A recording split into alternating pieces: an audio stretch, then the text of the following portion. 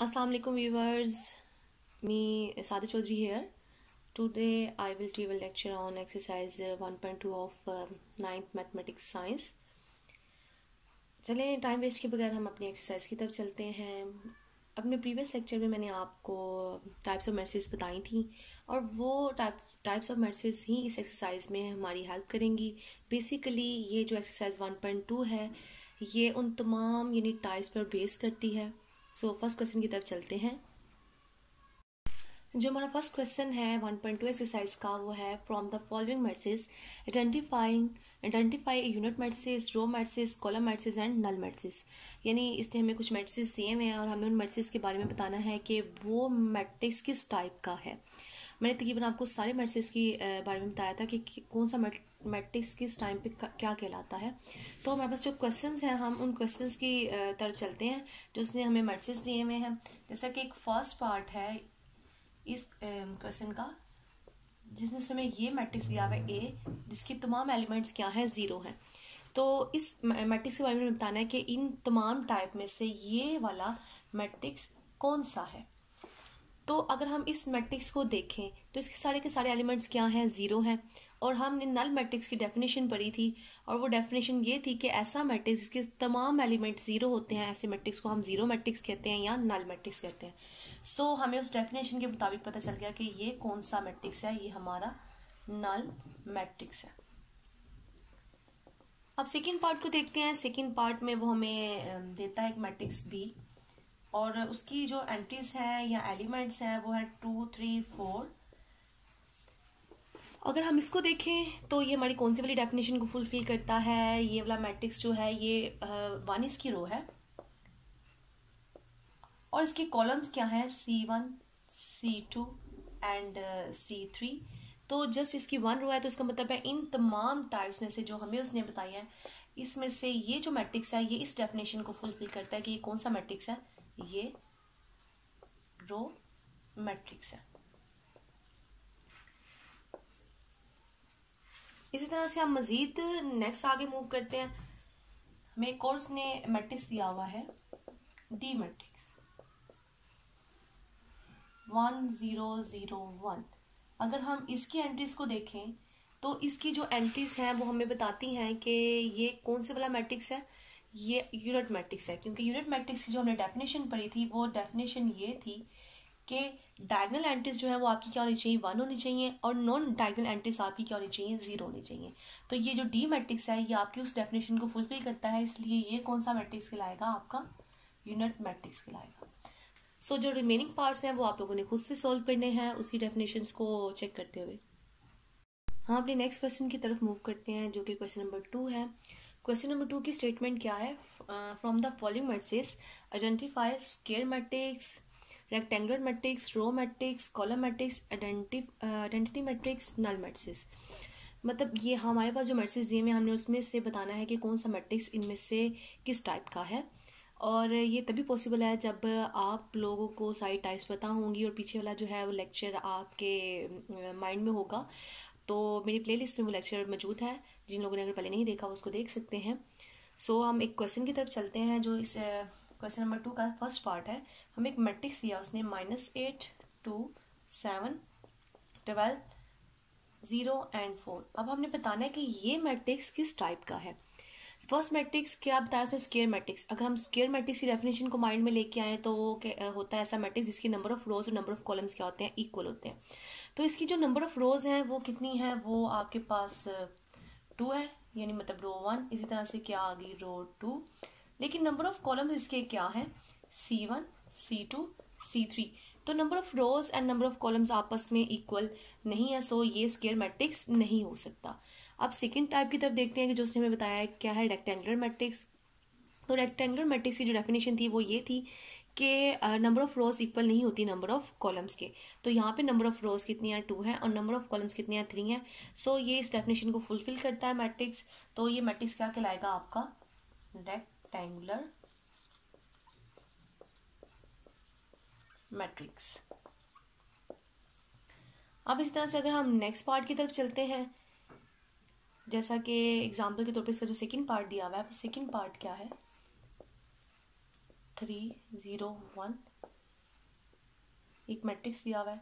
अब इस मैट्रिक्स को देखें तो इसकी जो नंबर ऑफ़ रोज हैं, वो आपके पास कितनी है? R one R two R three और नंबर ऑफ़ कॉलम्स इसके कितने हैं? वन तो इस मैट्रिक्स को अगर आप देखते हैं तो ये स्केयर मैट्रिक्स नहीं खिला सकता क्योंकि नंबर ऑफ़ रोज इक्वल नहीं है। नंबर ऑफ़ कॉलम्स के रेक्टेंगुलर की तरफ़ चलते हैं तो ये मैट्रिक्स रेक्टेंगुलर मैट्रिक्स खिला सकता है क्योंकि नंबर ऑफ़ रोज इक्वल नहीं है नंबर ऑफ़ कॉलम के। सो so, इस मैट्रिक्स को हम रेक्टेंगुलर मैट्रिक्स भी कह सकते हैं।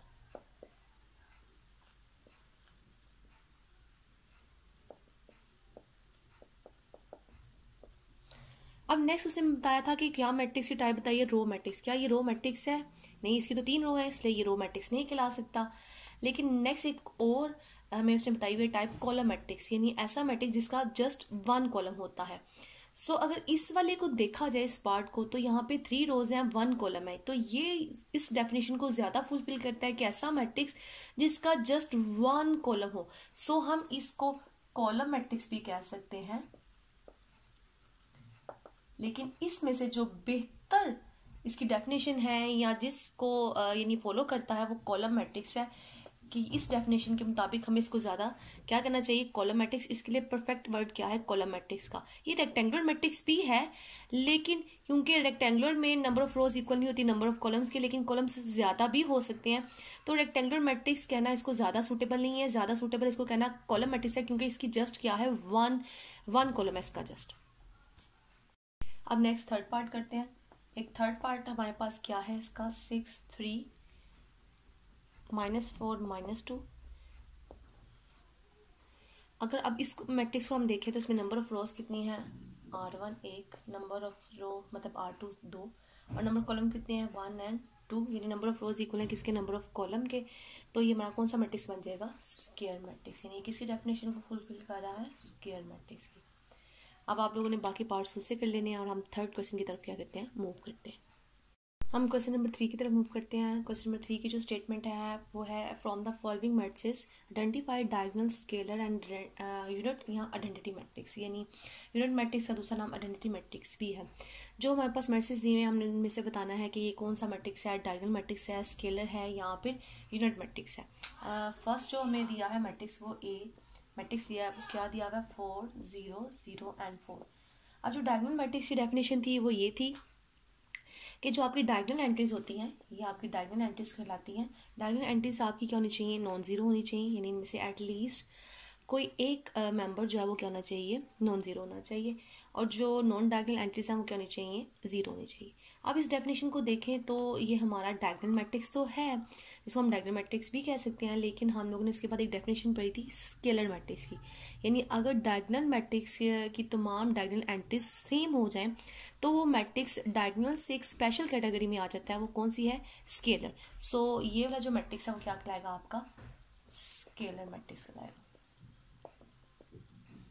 अब सेकेंड पार्ट देखते हैं। इसका जो सेकंड पार्ट है, एक बी मैट्रिक्स दिया हुआ है हमें, वो बी मैट्रिक्स क्या है? Two zero zero and minus one अब देखें, ये मैट्रिक्स डायगनल मैट्रिक्स की डेफिनेशन को या उसकी कंडीशंस को फुलफिल करता है कि आपकी जो डायगनल एंट्रीज हैं, वो क्या होनी चाहिए? एटलीस्ट इसमें से वन जो है, वो नॉन ज़ीरो होनी चाहिए। तो ये दोनों ही नॉन ज़ीरो हैं। सो ये डेफिनेशन को फुलफिल कर रहा है और नॉन डायगनल एंट्रीज क्या होनी चाहिए? ज़ीरो और वो ज़ीरो हैं। लेकिन ये दोनों एंट्रीज सेम नहीं है।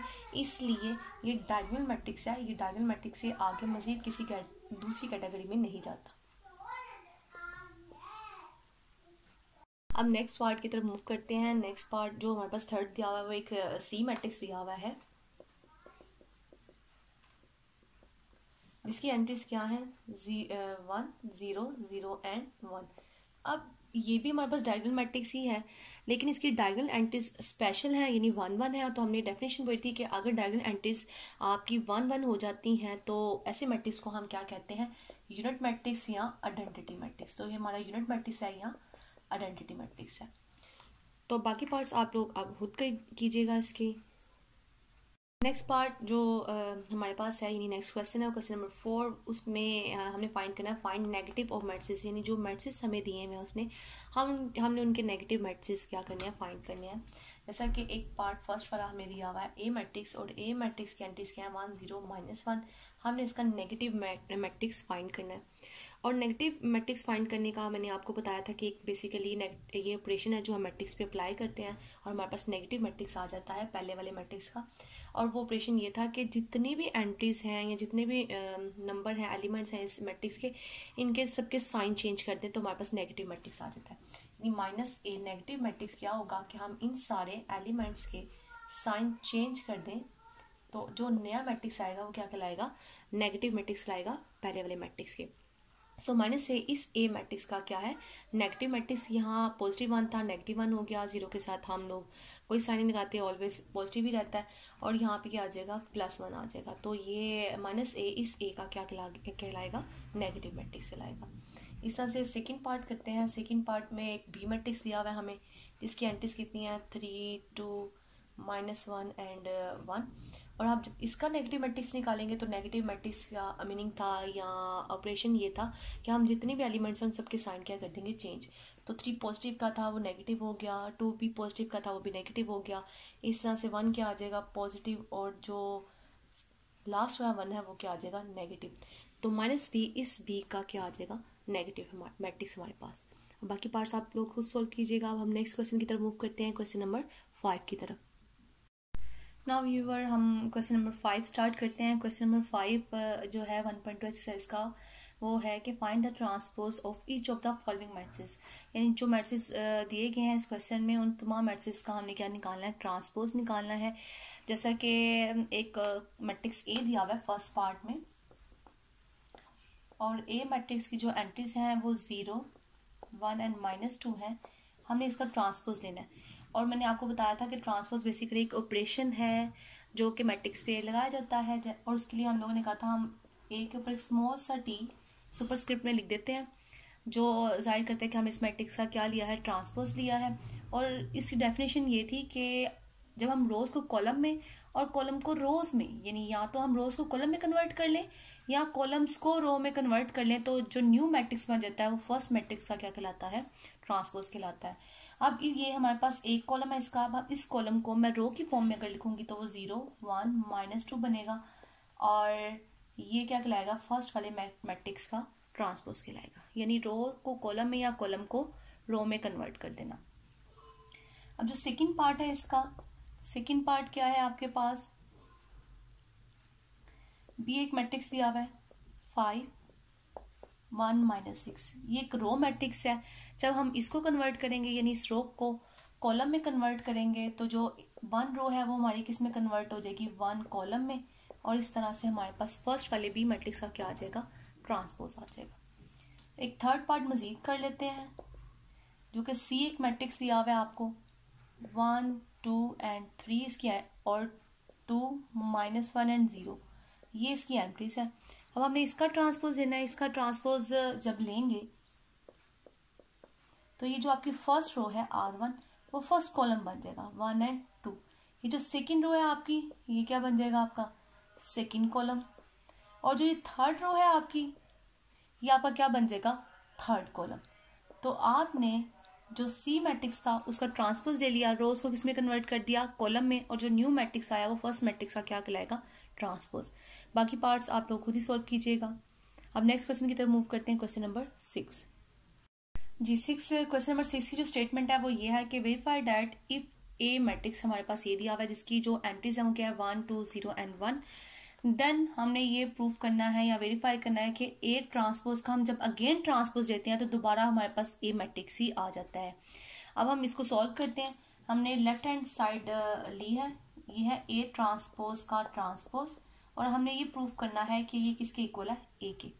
हम सबसे पहले ये, जो स्मॉल ब्रैकेट के अंदर वाली टर्म है, उसको सॉल्व करते हैं। यानी ए मैट्रिक्स हमारे पास है, वो क्या है? वन ज़ीरो टू वन इसका हम क्या लेते हैं? ट्रांसपोज ट्रांसपोज क्या होता है? रोज को कॉलम में कन्वर्ट करना। इसकी रो है आर वन इसको हम क्या लिख देंगे? कॉलम में. ये सेकेंड रो है आर टू इसको भी किसमें लिख देंगे? कॉलम में. तो ये फ़र्स्ट मैट्रिक्स का क्या बन गया? ट्रांसपोज बन गया।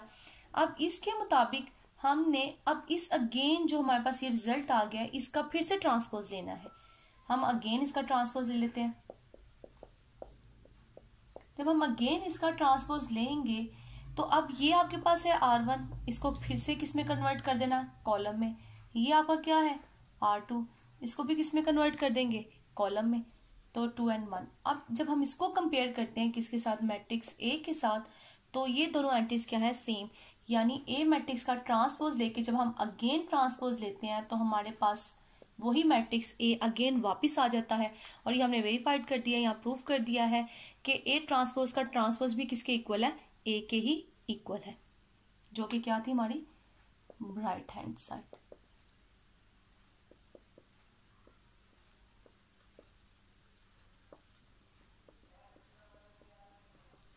इसी तरह से इसका एक सेकंड पार्ट है जिसमें बी मैट्रिक्स दिया हुआ है और बी मैट्रिक्स को भी हमने ऐसे ही प्रूव करना है कि बी ट्रांसपोज का ट्रांसपोज किसके इक्वल है? बी के। वो आप खुद कीजिएगा। और इनशाला अपने नेक्स्ट वाले लेक्चर में मैं वन पॉइंट थ्री एक्सरसाइज को डिस्कस करूँगी। अल्लाह हाफिज़।